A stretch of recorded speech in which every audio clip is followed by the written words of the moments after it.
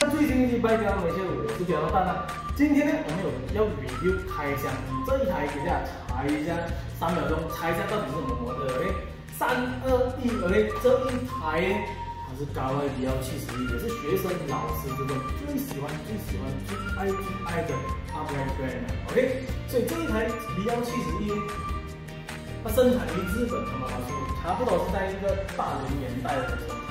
七零到八零年代，所以基本上这种钢琴呢，差不多是一个四十多岁的，然后过后老一点的话，可能会接近五十岁。但是这一台是完全翻新了的，然后它是原装三趴，OK。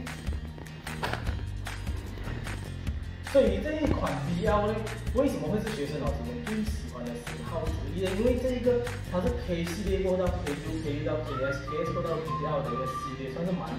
啊，第四、第五代的一个系列了，然后它在 B L 系列里面呢，也是相当于最高级的一个款式了，最高级的一个型号。B L 系列里面有 B L 十一、十二、三十一、五十一、六十一到七十一，有时甚至还会看到 B L 八十二了。OK，这一台就是 B L 七十一。OK，我们来看一下它的 action。B L 七十一里面的这个机型啊。OK，所以呢，B L 七十一它高级一点呢，它就有这个红色。的这个榔头啊，红色榔头，OK，所以这边有写着 B 幺七十一了，OK，我们会给一个锁匙，因为它有了锁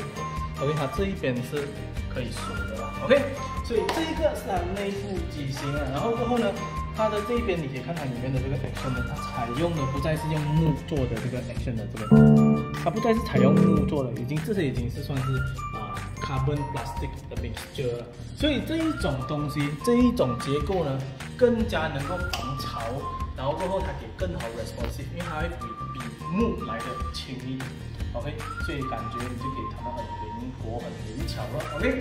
所以呢，我们来听一下它的声音。